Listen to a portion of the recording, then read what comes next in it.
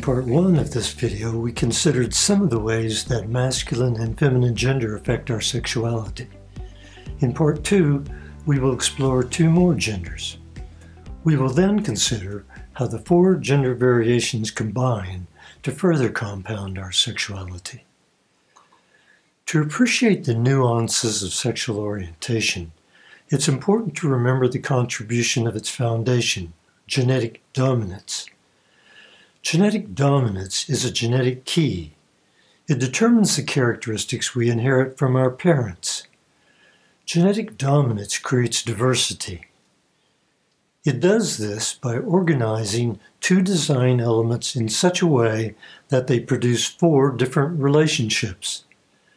Genetic dominance either gives control to one of two elements, merges the two into one, or causes the two to work as a team. In part one, we examined the three types of genetic dominance complete dominance, incomplete dominance, and codominance. Complete dominance, remember, produces binary gender. It does this by making one of the two hemispheres dominant and the other recessive. Since gender is a product of the systems that operate the hemispheres, this leaves us conscious of our dominant gender and largely unconscious of our recessive gender. The yin yang symbol might help explain their relationship. Think of the two small circles within each half as representing the influence our recessive gender has on our dominant gender. Incomplete dominance and codominance give us non binary gender. They cause masculine and feminine genders to function as one.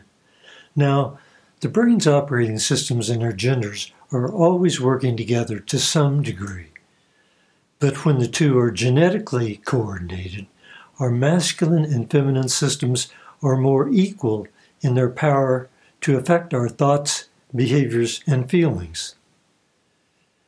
Consider how incomplete dominance and codominance affect sexual orientation. With incomplete dominance, our masculine and feminine genders integrate into a single gender, a hybrid gender. Since masculine and feminine genders can combine in a variety of ways, hybrid gender produces polysexual behaviors.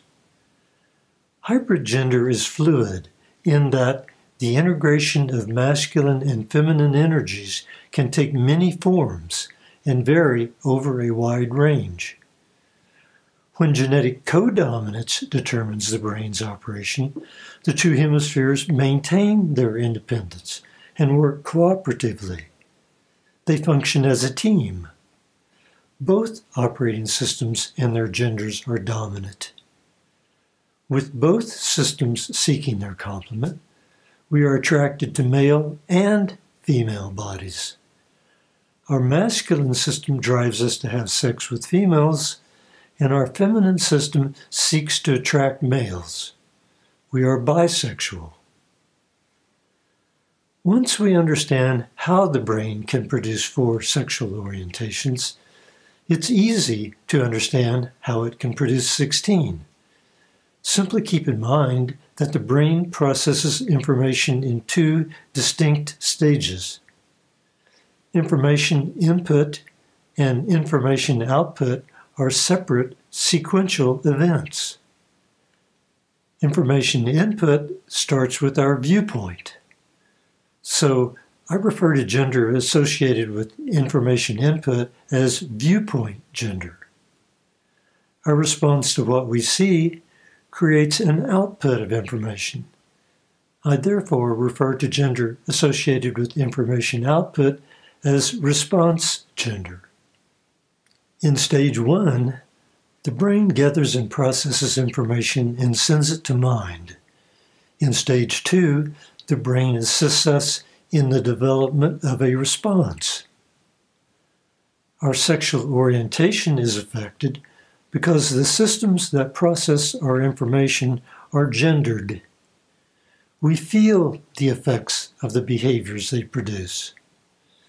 Since one of four gendered systems will default to help us process information input, and one of four will default to help us process information output, gender can compound in 16 different ways. Information input, which determines what we see, and information output, which reflects our response, often default to be processed by the same hemisphere. In that case, we experience the same gender in both the viewpoint stage and the response stage. In other words, we experience the same gender twice, so our sexual orientation is based on having one dominant gender. An example of this is most right handed cisgender men. When different hemispheres default to manage the input and output of information, we inherit different dominant genders. An example is most right handed cisgender women. By default, these women view the world through the lens of their feminine system, and unless taught otherwise, respond to it with the help of their masculine system.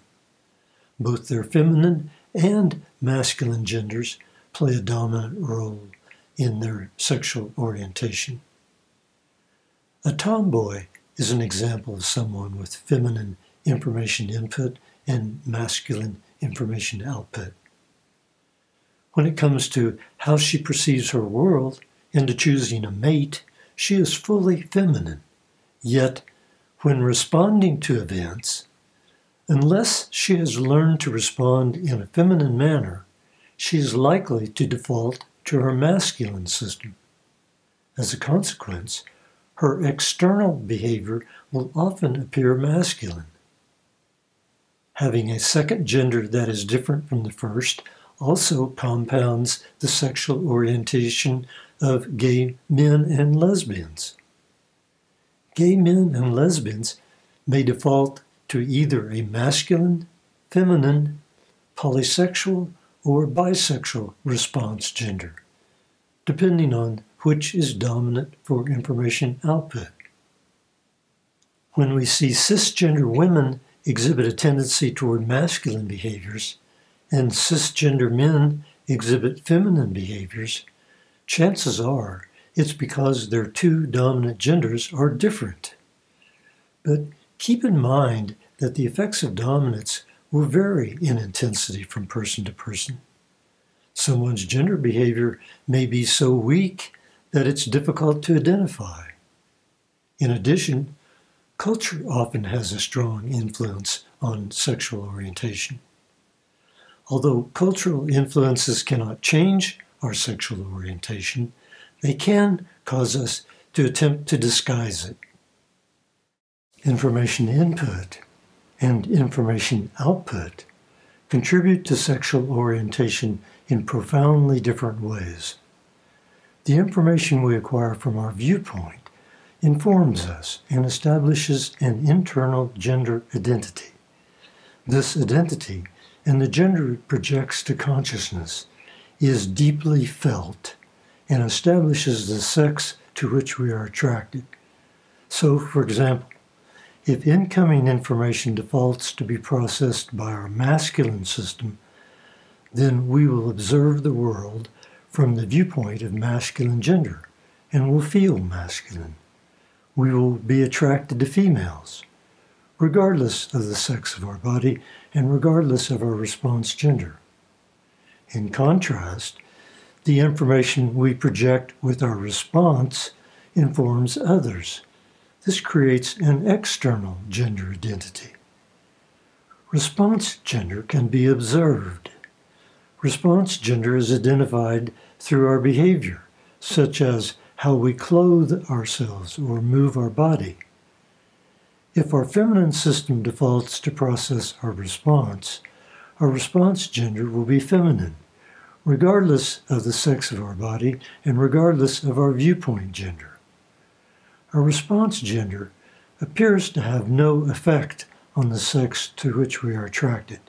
but further research is needed before we can understand how response gender affects our sexual orientation.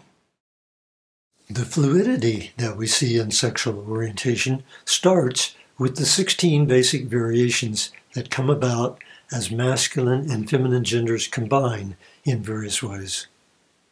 In addition, each of the 16 compound genders will independently vary, for example, in terms of the intensity of each component. Variation exists both within and between each of a bisexual's masculine and feminine components.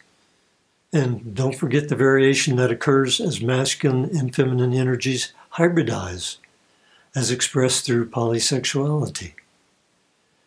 Gender can take many forms as masculine and feminine insights and behaviors integrate. We arrive at 32 variations in sexual orientation because males can experience one of 16 variations, and females can experience one of 16 variations. Given that female bodies tend to come paired with an estrogen dominant hormonal experience, and male bodies are usually paired with a testosterone dominant experience, females and males will have a different sexual experience, regardless of which brain operating system or systems guide their behavior. In conclusion, my research into the origins of sexual orientation suggests that sexuality is a product of the systems that operate the brain's hemispheres. The way these systems combine and the genders that they produce are determined by the type of genetic dominance that we inherit. I see no credible evidence that one's gender or sexual orientation can be changed.